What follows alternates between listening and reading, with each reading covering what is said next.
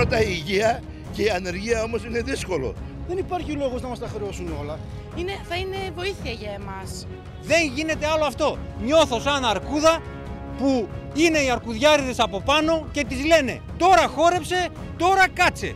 Πρέπει να μειωθούν οπωσδήποτε στο μισό Τραπέζια και καρέκλες έβγαλαν στον δρόμο οι καταστηματάρχες της οδού Ερυθρού Σταυρού, στο παραλιακό μέτωπο της Καβάλας. Διαμαρτύρονται όχι μόνο για τις αποστάσεις, καθώς δεν βγαίνουν οικονομικά με τους πελάτες που φτάνουν στα καταστήματά τους. Ε, σύμφωνα με τα μέτρα τα καινούργια για την καλοκαιρινή σεζόν, δεν υπάρχουν ε, ο χώρος για να βάλουμε τρα, τραπεζοκαθίσματα.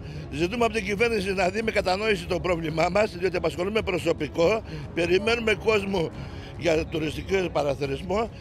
Οπότε θέλουμε ανάλογα με τα αναγραφόμενα στην άδεια να λειτουργήσουμε. Ξέρουμε και κρατάμε τις αποστάσεις. Προσέχουμε πάντα τον πελάτη, γιατί εκεί εμεί έχουμε οικογένειες και παιδιά. Αλλά και πρώτα η υγεία και η ανεργία όμως είναι δύσκολο. Είμαστε 75 μέρες κλειστά. Δεν νοιάστηκε κανένας πώς εμείς επιβιώσαμε και το προσωπικό μας. Και τώρα που έρχεται η περίοδος να δουλέψουμε, θέλουμε να δώσουμε ένα μήνυμα στην κυβέρνηση να μας αφήσει όπως ήμασταν με την άδεια. Με τα τραπεζοκαθήματα που ανέγραφε η άδεια. Από εκεί και πέρα, εμείς κρατάμε τις αποστάσεις, φοράμε τις μάσκες, έχουμε τα αντισηπτικά μας και προσέχουμε πιο πολύ από όλους τους πελάτες μας. Αυτή τη στιγμή κλείνουμε το δρόμο. Είναι μια διαμαρτυρία για λίγο. Δεν θέλουμε να ενοχλήσουμε τον κόσμο της Καβάλας για 10 λεπτάκια. Θέλετε να περάσετε ένα ηχηρό μήνυμα Να περάσουμε ένα μήνυμα το οποίο λέει ότι ε, να, να το Διοικητικό Συμβουλίο της Νομαρχίας να συνεδριάσει λίγο πιο γρήγορα για να μας δώσει τα μέτρα παραπάνω που μας υποσχεθήκανε. Ένα είναι αυτό. Και δεύτερον, δεν θέλουμε να μας χρεώσουν τα μέτρα που θα μας δώσουν. Από τη στιγμή που θα δουλέψουμε τα μισά μέτρα, δεν υπάρχει λόγος να μας τα χρεώσουν όλα. Όταν έρχεται η νομαρχία και δεν μπορούν να συνοηθούν μαζί τους με το υγειονομικό, πρέπει να πούνε ότι ξέρετε, θα δουλέψουν τα 40 μέτρα, τα 30. Αυτά πρέπει να μας χρεώσει και το λιμενικό. Αν μας τα χρεώσουν όλα με τρεις μήνες, θα έχουμε πρόβλημα. Και σε λίγο καιρό, αν πάμε και σε δεύτερο lockdown, όπως λένε Οκτώβριο-Νοέμβριο, εμείς θα κάνουμε. Α έρθουν να πάρουν οι ίδιοι οι κύριοι, εδώ πέρα της τοπική διοίκησης, να πάρουν τα κλειδιά και να τα δουλέψουν τα μαγαζιά μόνοι τους. Ε, μας έχουν μειώσει τα τραπέζια κατά το ίμιση ε, βάσει της άδειας που έχουμε για τα μαγαζιά μας. Αυτό νομίζω είναι καταστροφικό γιατί σε μια εποχή που παλεύουμε για το κάθε ευρώ που βγάζουμε είναι... Ο κόσμος δεν έρχεται και λόγω κορονοϊού φοβάται, οπότε πάλι έχουμε μείωση ε, στα άτομα που έρχονται. Υπάρχει μεγάλο πρόβλημα.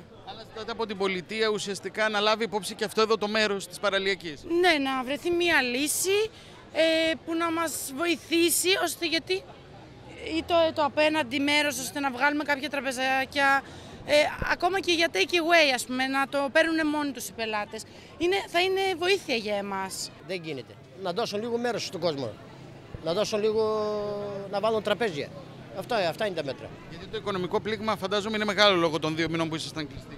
Μεγάλο, πολύ μεγάλο. Είναι μεγάλο το πλήγμα.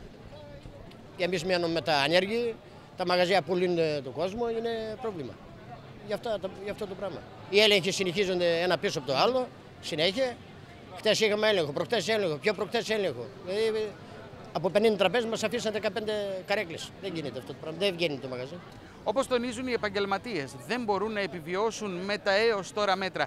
Καθώς στο εξωτερικό μέρος επιτρέπεται να έχουν πελάτες στο μισό της άδειας που τους παραχωρεί το λιμενικό σώμα.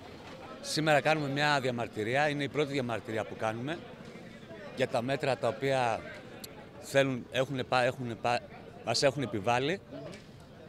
Κατάμε τις αποστάσεις, προσπαθούμε να κατάμε τις αποστάσεις, αλλά όλα αυτά τα μέτρα εξοντώνουν τα μαγαζιά μας, τα οποία απασχολούμε κόσμο και σήμερα είμαστε εδώ για να διαμαρτυρηθούμε για όλους αυτούς τους νόμους.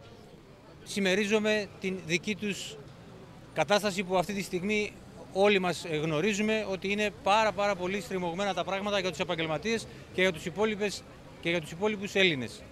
Αυτό που θέλω να πω είναι ότι πιστεύω να έχουμε περάσει το, το μήνυμα και να ευαισθητοποιηθούν και να κινητοποιηθούν και οι υπόλοιποι συμπολίτες μας. Ήταν τελείως ειρηνική όλη αυτή η διαδήλωση. Δεν θέλαμε σε καμία περίπτωση να δημιουργήσουμε πρόβλημα είτε σε εμάς, είτε στις υπηρεσίες, είτε στα υπόλοιπα μέλη του ανθρώπινου δυναμικού της Καβάλας. Από εκεί και μετά ελπίζουμε στην συμπαράσταση και την υποστήριξη και την ευαισθητοποίηση όλων των συνανθρώπων μας. Δεν είναι για μας προσωπικό, δεν είναι για μας ατομικό, δεν είναι τίποτα. Νομίζω ότι είναι μια κίνηση προς τη δική μας προσωπική και ατομική ελευθερία.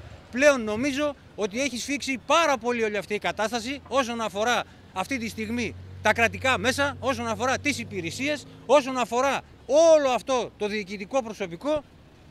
Δεν ξέρω τι άλλο να πω και πιστεύω σε μια ομαδική κινητοποίηση πανελλαδική και αν το θέλετε το πάω και παραπέρα παγκόσμια.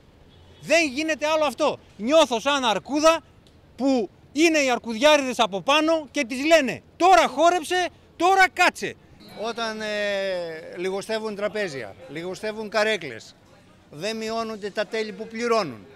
Ε, έχουν δίκιο να διαμαρτύρονται οι άνθρωποι. Πώς θα βγουν οικονομικά; Είναι δυνατόν να βγουν οικονομικά όταν μειώνεται στο μισό η δουλειά τους και δεν μειώνονται τα τέλη που πληρώνουν στο λιμενικό ταμείο; Γιατί δεν γίνεται να γίνεται αυτό το πράγμα; Πρέπει να μειωθούν οπωσδήποτε στο μισό ή να δοθεί αυτό το πράγμα που κλείσανε σήμερα, να δοθεί ή να τους δώσουν απέναντι στην παραλία. Να μπορούν να επιβιώσουν. Να μπορούν να επιβιώσουν. Αλλιώς δεν θα επιβιώσουν.